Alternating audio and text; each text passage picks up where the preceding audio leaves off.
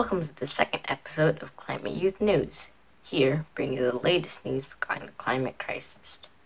This week, we'll be reviewing what new breakthroughs have scientists discovered regarding the melting of Arctic ice caps, how have zombie storms risen from the dead, and what is the difference in viewpoints on climate change for Gen Z, millennials, and boomers. All that and more on today's CYN broadcast.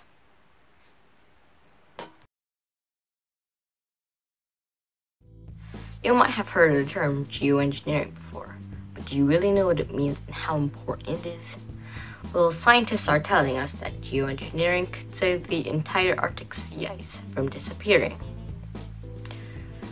According to a BBC News report, one of the most important yet unappreciated features of the Arctic sea ice is its ability of its blinding white surfaces to reflect sunlight.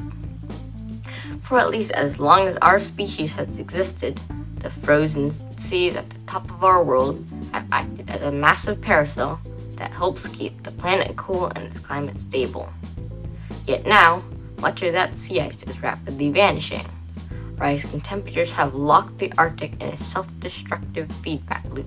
The warmer it gets, the reflective white ice dissolves into darker blue water, which absorbs more of the sun warmth rather than reflecting it back into space. Warmer water accelerates melting, which means yet more absorption of heat, which drives further melting, and so on in a vicious cycle. That is part of the reason why the Arctic is warming around twice as fast as the rest of the planet. As planet warming greenhouse gas emissions continue to rise, some have been driven to explore desperate measures. One proposal put forth by the California based nonprofit Arctic Sea Ice Project appears as daring as it is bizarre to scatter a thin layer of reflective glass powder over parts of the Arctic in an effort to protect it from the sun's rays and help ice grow back. Over the past decade, a team of researchers have scattered the silica part spheres over several lakes and ponds in Canada and the United States. So, so far with encouraging results. For instance, in a pond in Minnesota, just a few layers of glass powder made young ice grow 20% more reflective, enough to delay the melting of the ice. By spring, when the ice had when the ice in an uncovered area of the pond had completely vanished, there was still nearly a foot of ice in the section treated with glass beads. Thanks to climate change, zombie storms are rising from the dead. Zombie storms are storms that regain strength after they have petered out.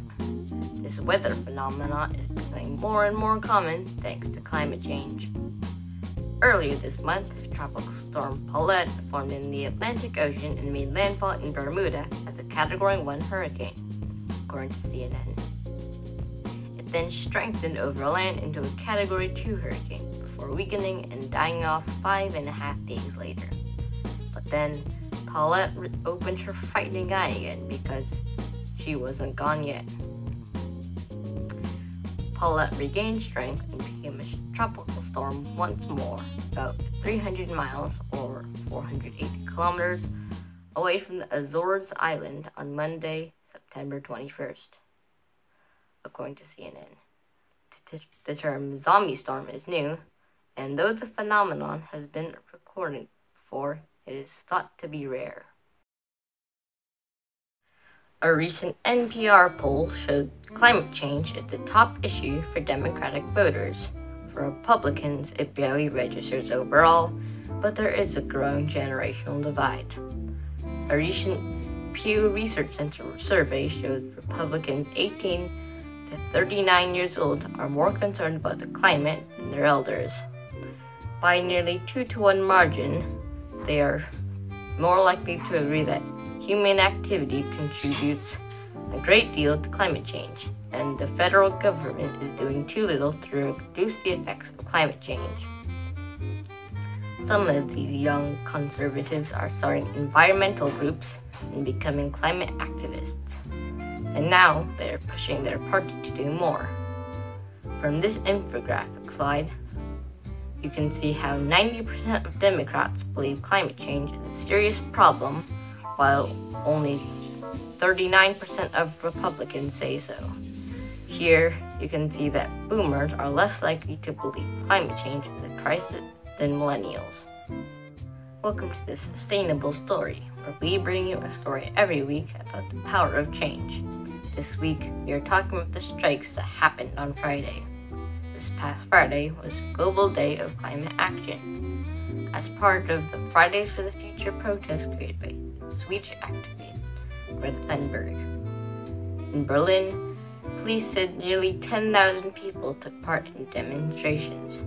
Protesters cycled in groups to the Brandenburg Gate, where they sat in face masks, observing social distancing and chanting strikes in schools, universities, and companies. That is our entered your politics.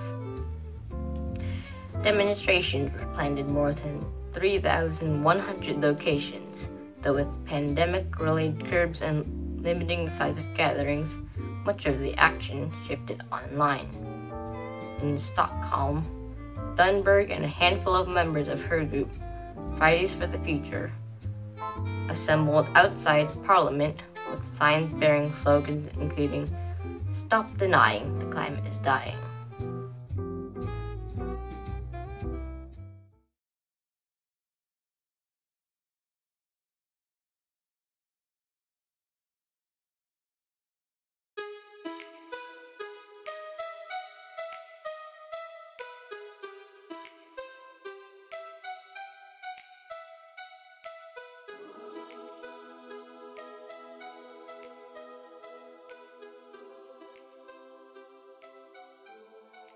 Bottom part of the trash can, you will drill holes along all sides and um, the what I can't put into green compost parts um, are cooked food, salted food, meat, and dairy.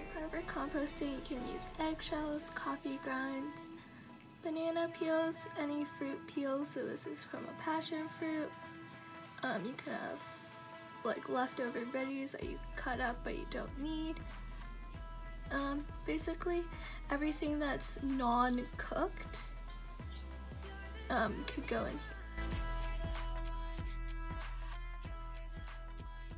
For composting, you can basically use any type of leaves or sticks. Um, you can't use fruit, but even though I have some fruit here, this is just from my garden waste. You can use just green leaves, even if they're not brown, they work because they will one day dry up.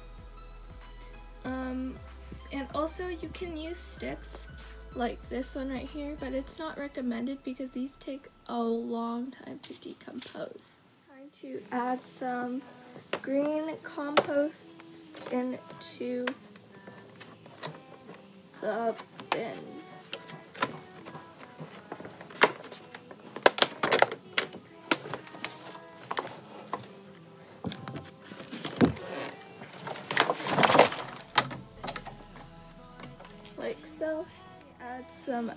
Compost parts, so just grab a handful of leaves and place it into the bin. But we'll need um, a bit more. Um, I basically choose anything that isn't large portions of sticks. Um, basically mostly leaves is okay. Tiny sticks is okay as well. But um, I'm also going to add like like this um, I could add a lemon as extra greens.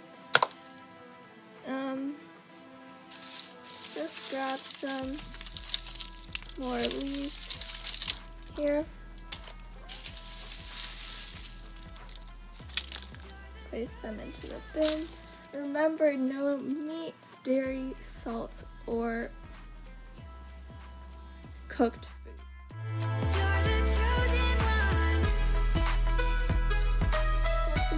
add a bit of moisture into our compost bin and so that it decomposes a bit faster, we will want to add water to it. On to it on both sides. For this one, for simplicity, what we're going to be doing is we're going to be rolling it on the ground to mix it. We push the trash can around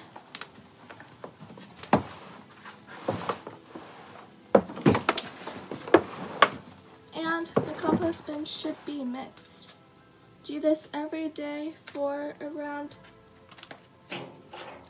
two to six months and your compost should be ready.